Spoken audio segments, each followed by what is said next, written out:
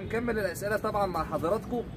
إيه طبعا طب بالنسبة للأستاذ هاني كنا عايزين نعرف بصفة شخصية. حضرتك بتنقي ال stock الطير اللي يدخل عند حضرتك stock بناء على إيه؟ طبعا نهينا عن ال- المراكز أو المراكز الأولى. في حاجات مميزة أو بتمسكها في الطير ال stock بتلمسها في الطير تقول آه لا ده الطير ده هدخله stock عندي؟ في حاجات كتير أنا بعملها يقول لك البطل ما بيجيبش بطل. ماشي طبعا آه، بصفة تجربيه بالنسبة لي أنا معظم الحمام اللي أنا ربيته كان تحت ابطال فاجي أسوي إيه بحط الابطال على بعضها بلاقي نسبة الفقد بتاعته عالية جدا. يكاد يكون 100% فطبعا جينا عدنا الكلام تاني وسمعنا كلام برضه ناس ما شاء الله برضه متسابقين في أوروبا وفي كل حتة. قال لك البطل ما بيجيبش بطل. طبعا الناس بتنقدنا في الكلام ده كله بس ديت أنا بتكلم بصفة شخصية. ما بفرضش حاجة على حد.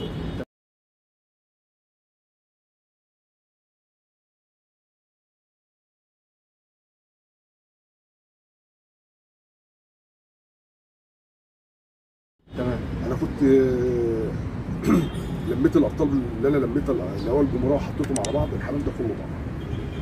عيد الكلمة تاني. دي آراء شخصية من خلال تجربة تمام؟ اسمع المعلومة و- ومفيش أي مشاكل. حضرتك حابب بتنفذ أو بتطبق بيها وإن شاء الله تلاقي الخير لأن الكلام طبعا طالع بمصداقية وأمانة. إحنا مش طالعين بنضل حد إحنا طالعين عشان ننفع أو نستفيد ونفيد الناس برضو في نفس الوقت تمام؟ هتكلم دلوقتي بصفة عامة وأقول برضو الكلام برضو إيه منطقي. يعني مثلا لما جيت حطيت بطلين على بعض لما حصل نسبة الفرد بقى في فرد من هنا وفرد من هنا من ولاد أبطال على بعض. لما جيت في الاختم هم بقى على حمام استوكات آه، لقيت نتائجهم بسم الله ما شاء الله. طبعا الأبطال اللي أنا لميتها ديت كنت باخدها في نفس اليوم اللي كانت بتكسب فيها ما يعني بقاش- حضرتك بتروح تنتظر الطير في بتشيله اليوم ماشي. في نفس اليوم دي بشهاده الشهود اللي أنا خدت منهم الأبطال. ولو موجودين منهم أحياء أو أموات هم شاهدين بالكلام ده. فالحمد لله لما لميت الأبطال دول بدأت أحط الأبطال دول على بعض وآخد عيالهم وأحطهم استوكات وبقيت بحطهم على الحمام stock كلمة stock دي الناس فاهمها غلط.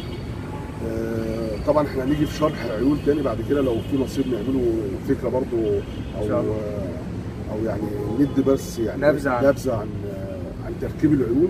الناس فاهمة تركيب العيون التضاريس اللي في عينيها اللي هي دي دي دي سريعة ودي بطيئه لا هي موضوع العيون ديت يعني من وجهة نظري الشخصية هي آه، واقفة على آه، قوة إبصار الطير. قوة إبصار الطير اللي هو يشوف على أقصى بعد بتشوف رؤيه عينه عشان يعرف يحدد. دي مالهاش علاقة بالسرعة. دي لها علاقة إن هو شايف صح. صح. الطريق واضح. قدامه. آه، الطريق واضح قدامه. زي واحد ماشي بعربية وفي شتاء جه على الفوانيس أو على الإزاز. أو الشبورة. أو شبورة. ما هو شايف بيمشي على مين. ده الحمام اللي هو رؤيته مش واضحة. أما حمام تاني رؤيته نظره حد زي الصقور بيشوف على أقصى بعد عينه فبيجري بقى. مش أمر سلك قبله آه، بيقدر. يتفاداه يتجنبه آه، كده. صقور قابلته بيقدر يلعب معاهم. إنما لو هو بقى نظره لابس نظارة كده خلاص. النظارة انقسمت. تمام. طيب يا أستاذ هاني طب بالنسبة لأفراد السباق طبعا آه، أكيد ولازم إنها تكون مرت بمرحلة التدريبات اللي هي المبدئية قبل الدخول في موسم أيوة. حضرتك بتقدر تحدد ال- الأفراد اللي هي ممكن تقدر إنها تسابق معاك أو آه، تدخل السبق بناء على إيه حضرتك مثلا في يوم التسليم إيه الإجراءات اللي حضرتك ممكن تعملها مع الحمام عشان تشوف الطير ده أحطه في القفص أو لأ ما يطلعش هو طبعا السؤال ده بقى منتشر كتير و90% ولا 99% من المتسابقين عارفينه. اللي هو مثلا بينقي طيوره اللي هي بيبقى مثلا مفيش قشر على صدرها مفيش قشور على السن على الصدر آه، الجفون بتاعت أو المراكير بتاعتهم بتبقى زي التلج. تمام. آه، لمعان العين لمعان الريش. آه، الحمام صاحي مش مش نايم على نفسه. ده. طبعا دي مؤشرات للأبطال. زائد القطنة اللي هي بتبقى بيوقعها طبعا الناس عارفينها القطنة ديت بتبقى آه، ريشة بتبقى مكورة زي القطنه اسمها قطنة عشان كده. آه. بتبقى مالية اللفتات عشان خاطر آه، يعني دي أعلى فورمة فيها الحمام دي بالنسبة للحمام اللي أنت تقدر تقول النهارده أنا جاهز أو يعني طبعا أنت مش لوحدك جاهز بيبقى أنت أنت والفريق اللي أنت بتسلم معاه كله بيبقى بنفس المستوى. تمام. فطبعا التوفيق من عند ربنا اللي هو اجتهد من أول الأسبوع اللي مرن كويس. اللي عالج كويس اللي ادى تمريناته صح آه، اللي هو ما جهدش حمامه يعني ممكن آخد حمامي أمرنه وهو مش محتاج تمرين أو الناس تبالغ في التمرين آه،. فالحمام يتهلك أو يتحرق. بمعنى أصح هي هنا بقى من من غاوي لغاوي الدنيا بتتغير فثقافة الغاوي للغاوي ممكن الحمام يبقى جاي في نص الأسبوع وهو مش واخد باله حاطه في في نفس ال- السبق اللي بعده وفقده آه، بدون ما يشعر أو ما حسش اللي هو يعني دي سبب الفرق إنما طبعا أنا بفضل الله ما ما بعديش فرد فرد اللي بمسكه في نفس اليوم. أطمن على صدره أطمن على ما فيش آه، كانكر في بقه ما فيش آه، تنفسي. أبدأ بقى أعالج اموري قبل السبق باسبوع عشان على آخر الأسبوع أبقى عملت الفينش بتاعي مظبوط والحمام بتاعي. طبعا ال ال ال الكلام ده بيبقى بناء على الفحص بالإيد بالظبط. وبتشوف الطيور طير طير. طير طير. تمام؟ طبعا هو ده أنا بقى يوم الوصول أكلمك برضه في يوم الوصول يعني تاني يوم دي أنا بطار الحمام حاجة اسمها استكشاف. في ناس بتقول اللي هو الحمام بيهوي بطنه. لا أنا بطار الحمام تاني يوم بعمل عملية آه، استشفاء للعضلة. أحط له مثلا مية يستحمى لأن طبعا المية ديت أفضل حاجة الحمام بيحبها. بيعمل استرخاء للعضلات استرخاء للعضلات ويبدأ الدوره الدمويه تجري تاني في في عروقه وعمليه الهضم تبقى أفضل بسبب الحمص تمام. فدي طبعا مؤشرات إن الحمام بتاعك هيخش في الفورمة تاني. لأن لو هو مجهد زيادة عن اللزوم مش هينزل يستحمى فطبعا ما نزلش يستحمى تبدأ تراجع يبقى في. حاجة غلط ت- تفحص تراجع. الطيور تراجع نفسك بقى تشوف هم إيه اللي فيهم عشان تبدأ تعالج لأن طبعا آه، عن اللي هو استحمى يبقى أكيد في عندك حاجة في نقطة برضو بالنسبة للقشور آه، طبعا موضوع القشور ديت آه، أنا هفهمه بقى قشر الصدر يعني؟ قشر الصدر. تمام. ده ال- القشر ده بسبب انكماش وانبساط العضلات. انقباض وانبساط العضلات بتاعت الصدر. يعني فيها التهبت فعملت إيه؟ بتشد انتفاخ. الجلد. آه فلما تيجي ترجع لطبيعته يوم ال- ال- الالتهاب ده يعمل قشور.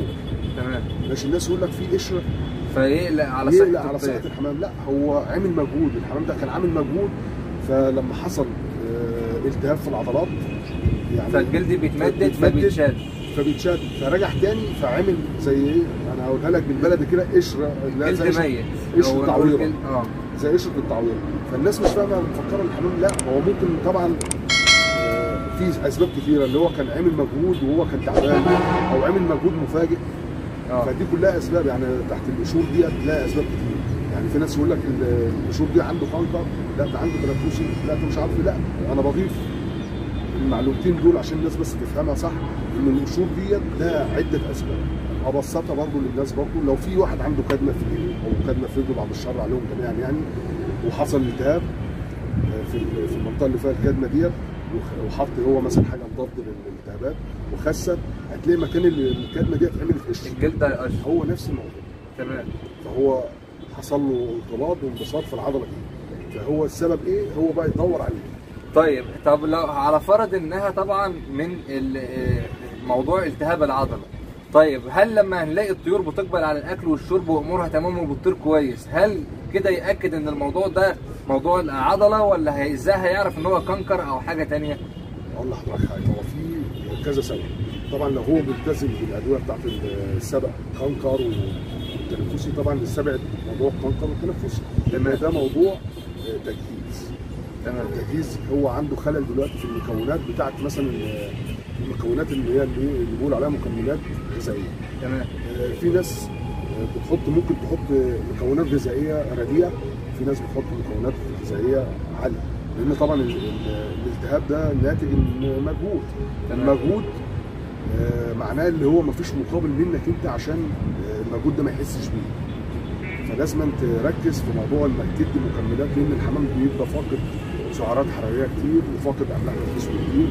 آه، لازم أنت في نفس اليوم الوصول تعوضه بسرعة بحيث إن هو ما يلحقش يلتهب تمام. لأن هو دايما الالتهابات دي بتبان تاني يوم. اللي هو بيقول عليه الناس بتقول عليه حالل يسيبه من إيده الطير ويجي راضي على الأرض. آه.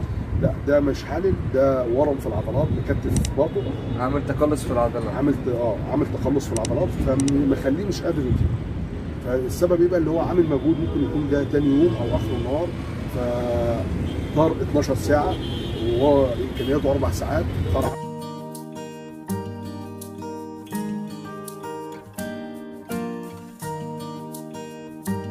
إن أعجبك الفيديو لا تنسى الإعجاب والاشتراك في القناة.